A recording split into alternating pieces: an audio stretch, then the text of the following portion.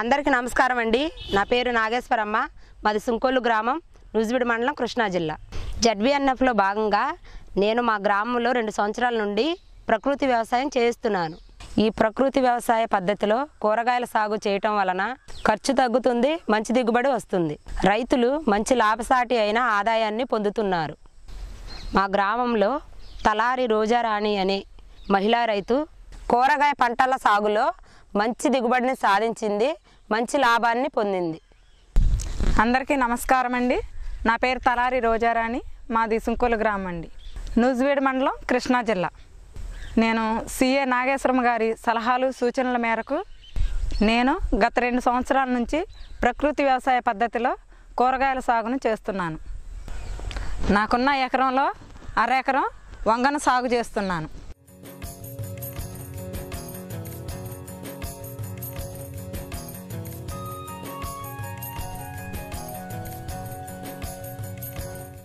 ఇరవై ఐదు సెంట్లలో బెండ ఇరవై ఐదు సెంట్లలో సొర్ర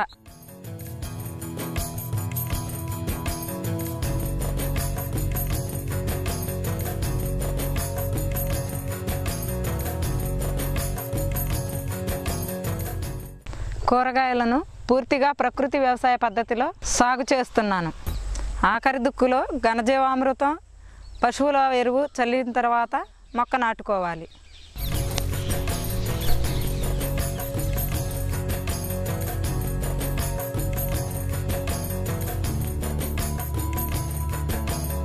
వంగ మొక్కను నాటిన తర్వాత నెలకు రెండుసార్లు జీవామృతాన్ని నీటి ద్వారా అందిస్తాను.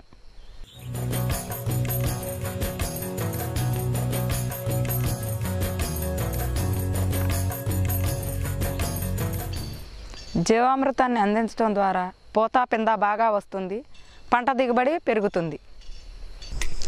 ఘనజీవామృతాన్ని అరెకరానికి వచ్చి యాభై కేజీల చొప్పున పొడి చేసుకొని మొక్కల మొదట్లో వేసుకుంటూ వస్తాను.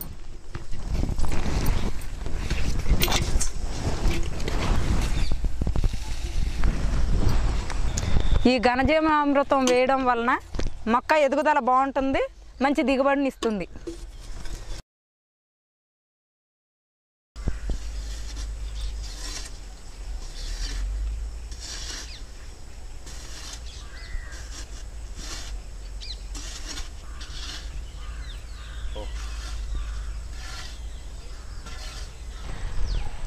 నేను వంగ చేనుకు దోమ ఆశించినప్పుడు పసుపు తెలుపు పళ్ళాలను పెట్టి దోమను నివారించగలిగాను.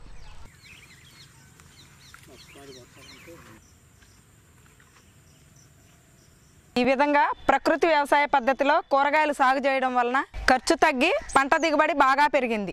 దాని ద్వారా అధిక లాభం పొందాను. అదే అంతకుముందు రసాయనిక ఎరువులు పురుగు మందులు వాడినప్పుడు ఖర్చు ఎక్కువగా అయినది. దాని ద్వారా పంట దిగుబడి తగ్గి ఆదాయం రాక చాలా నష్టపోయాను. రసాయనిక ఎరువులు వాడటం వలన పెట్టుబడులు ఎక్కువయ్యి కుటుంబ పోషణ కూడా ఇబ్బందిగా ఉండేది.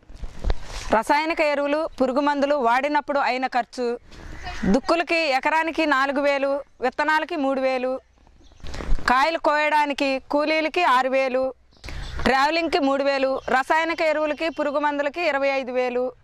మొత్తం నలభై ఒక్క వెయ్యి ఖర్చు అయ్యేది నలభై ఒక్క వెయ్యి ఖర్చు అయితే దిగుబడి లేక కూలి ఖర్చులు కూడా వచ్చేవి కావు.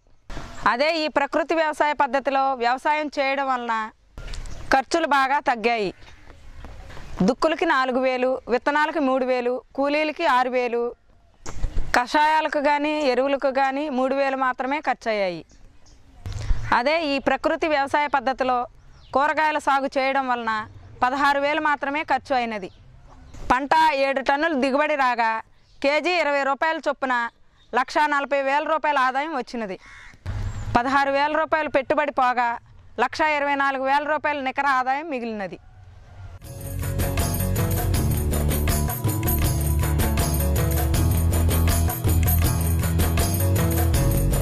ఈ ప్రకృతి వ్యవసాయ పద్ధతిలో కూరగాయలు సాగు చేయడం వలన పంట దిగుబడి పెరిగింది కాయ నాణ్యత బాగుంది.